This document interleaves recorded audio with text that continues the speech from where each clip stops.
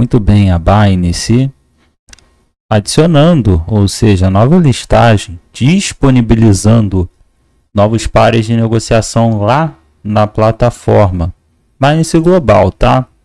E olha só que interessante observar esse deslocamento que a Binance vem realizando com uma stablecoin que está dando muito certo esse TUSD. Bom, legal, já estamos observando isso. Mas quem está é, tá aí é, sendo adicionado? Bitcoin Cash com essa stable, né? Bom, que legal, né? Além do Bitcoin Cash tem o CFX, mas o que nos interessa é evidentemente o Bitcoin Cash, que está aqui em 15 maior criptomoeda por capitalização de mercado, botando para quebrar. Então a Binance olhando é realmente, né? Bitcoin Cash está botando para quebrar aqui na plataforma, a gente tem que disponibilizar aqui com com outros pares ali. Vamos usar aquela stable ali que também está dando muito certo e tudo mais, né? Vamos disponibilizar essa coisa linda, porque o povo vai se jogar em cima, vai ser uma aventura. Vai aumentar aí, né? Talvez as negociações do Bitcoin Cash. E o Bitcoin Cash está assustando, meus amigos. Eu fico até emocionado, porque o negócio acontece aqui à luz do dia, muita gente ignorando. Outros são espertos e estão observando. Então tem aqui, ó, 15% dessa, dessa movimentação, desse volume de mais de um bilhão de dólares está sendo movimentado na Binance, tá? Com a, o par de negociação aí do Bitcoin Cash diretamente com a Stable Tether, né? E é isso.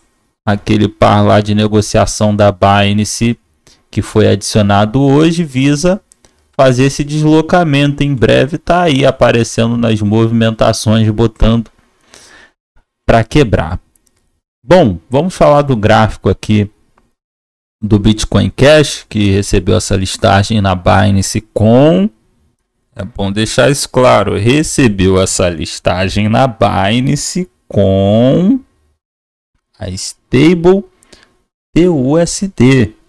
Já estava listado, mas é com, outros pares. Então esse par estado na Binance. Lembrando que essa moeda Bitcoin Cash apresentado aqui no gráfico já teve o valor de mais de 2 mil dólares, né? É, de repente derreteu tudo, ficou embaixo, sempre é assim que é bom, sempre realizando movimentações, desceu, sempre se movimentando. Olha só que coisa interessante.